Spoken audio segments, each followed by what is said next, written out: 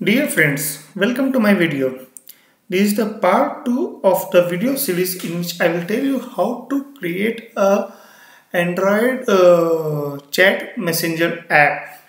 So in the part 1 of this video which is hosted on my YouTube channel, will get to know how you can do the programming and create the uh, app and I have also shown it working on the emulator.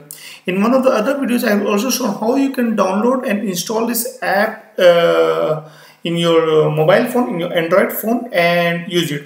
So I will recommend, I will highly recommend you to go through this video before watching this uh, uh, this video because in the in the part one I have almost completed all the basic uh, programming and it's more than sufficient to do or learn how to do uh, or how to build this uh, app the chat message app.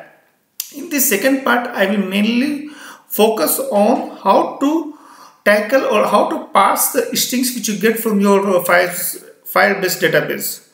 So if you remember or if you have already watched my previous uh, video you will see that i have done this uh, Java code and which gives me the output something like this on the emulator. And if I go to my uh, database which is hosted on Firebase which is provided by Google free of cost you will see uh, my messages comes over here.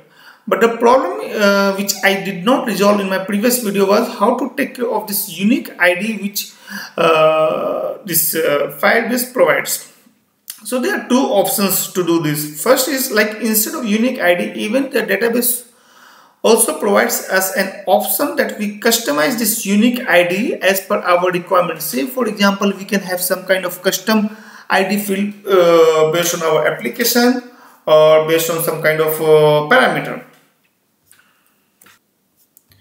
And even in the uh, advanced chat messages, uh, set chat messenger, they don't keep this unique id but they have subnodes here based on the user profile. So for each user they will create a node and then with respect to timestamp or other factors they create lots of structures so it's a database structure here which I will not go in detail in this uh, uh, video but the, my main purpose of this video is to show you how you can take care of this uh, unique ID which comes in the uh, output in the chat message app. So let's start so I'm continuing my code from the previous video. So uh, again I will say please watch my uh, previous video the link which has been given uh, at the top and also it will be displayed at the end of this video.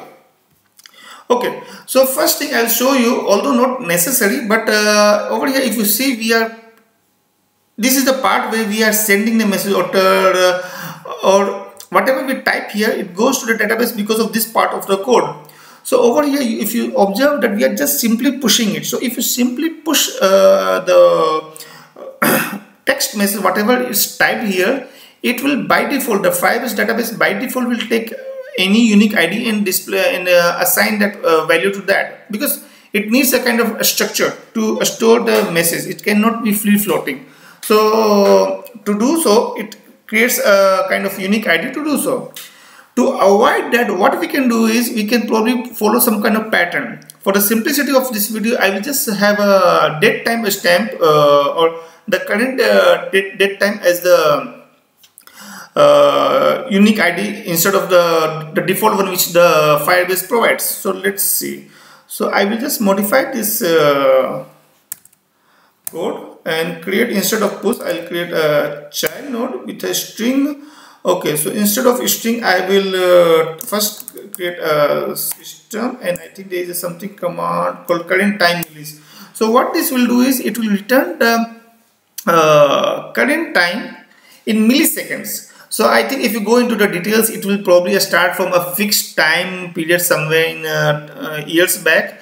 And it will calculate how many milliseconds have already passed from that particular uh, time or yeah the reference point basically in the time space. And if you observe it returns a value in the long format. It's not in integer integer format or string format. So and this child node will only accept the string format. So we may have to convert this long into integer. So to do so what we can do is we can have a long dot uh, um, I think it's long dot to string yes. And then we can have this inside this. Yes. So now if we let, let me just update my app with this whatever changes we have done and then we'll see uh, if, if it happens or not. So I will before running this uh, I will first show once again or probably I can do side by side parallel in parallel yeah so here you see my first three messages are in um, that it takes the default uh, unique ID from uh, Google or Firebase. And now I will create a say for example fourth message.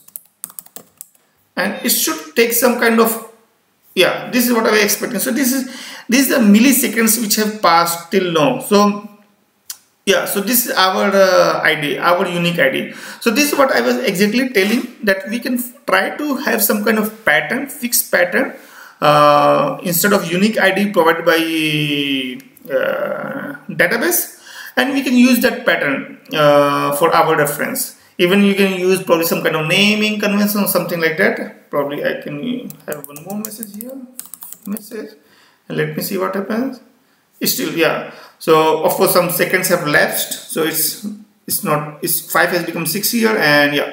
So it's a six message uh, fifth message over here. Yeah but if you observe still my database no I can I'm able to give or control this unique ID based on my parameter. But the output over here is still jumbled up. So to clear it up what we can do is uh, let's see our code once again. So in our code I think uh, this part of the code add event listener. So whenever there is any change in the uh, values on data change, it reads the values and displays it over here. But if you see for the simplicity of this code, I just kept one line of the code where it just reads the reads directly the complete uh, uh this uh, message here and displays it. So that's why the formatting is not so good. So to make it better, what we can do is we can just try some kind of uh, manual parsing of the strings over here and uh, take it in an array format. Let's see how we can do it. So to start, we, we will have to have a string array. Of course, we don't know the size, so we can keep it like this and we can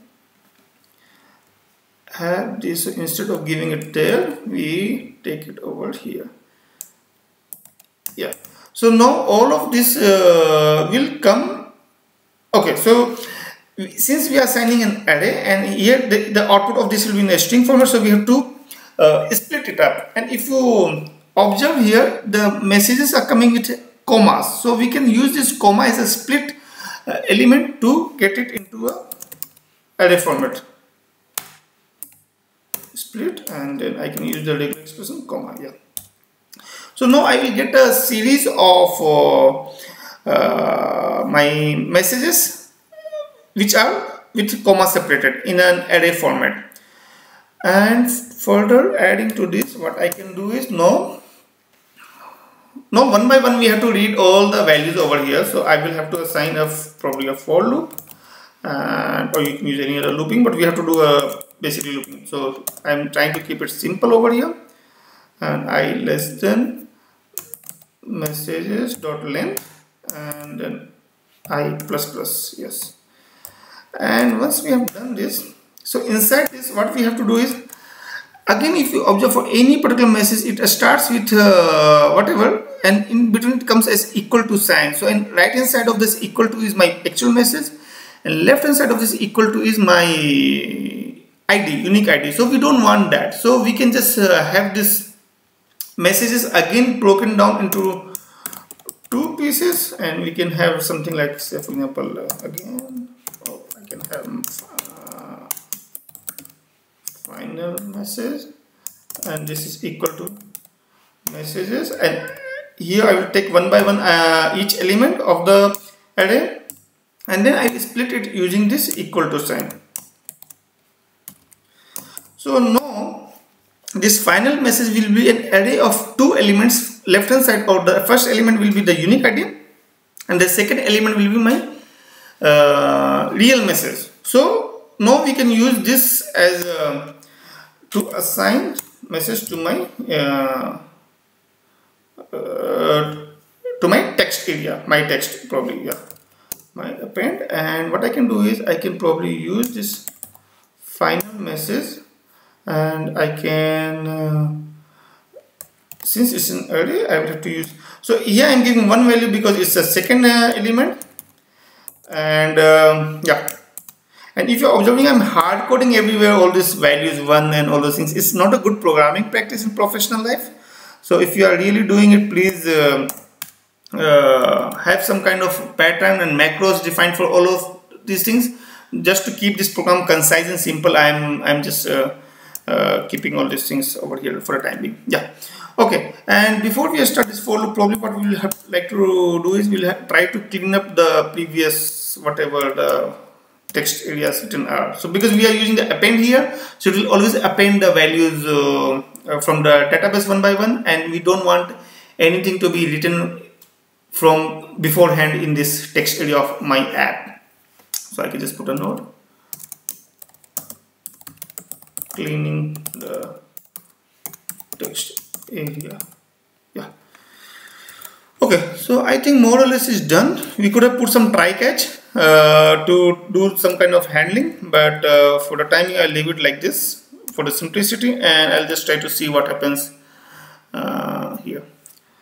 If there is some kind of exception stone probably I'll uh, put some kind of try catch. So if you see yeah okay you saw now it's all cleared up. All no, none of those uh, unique IDs are coming and it's all coming one by one in a kind of uh, series. This slash n is responsible for the new line. So that's why you are seeing every message is coming in a new line. So after fifth probably I can type this six message. And I can click send. So if you see over here it comes as a six message. Then uh, seventh message and it comes here. Now yeah if you are wondering how does this orders is determined again it will uh, you'll have to go into the details how this values comes from the database uh, in uh, what format. And but what I will suggest is once you have a fixed pattern of your own you can use this uh, pattern to sort your message according to the time stamp. If you want the time at which they be entered or any particular format which you want to enter. I'm not covering this into this uh, video but if you are really having questions please put in my comment section and i'll help you out on that front as well. Okay. So you can see no uh, more or less yeah. So more my unique ID is gone and also you have a better controlling uh, element over here with which you can control your uh, messages. And if you are not liking uh, some of the previous messages probably we can delete it using this. Yeah and yeah. So if you see that high is got high has got deleted I don't want second message also so I just delete second message and that is also gone. And yeah.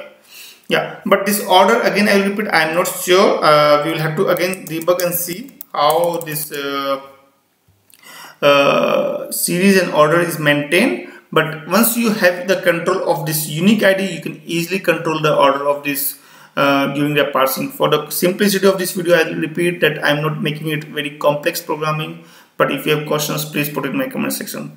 But before I end I will again suggest please do watch my uh, first part of this video which is more or less sufficient for you to learn the complete chat message app uh, programming.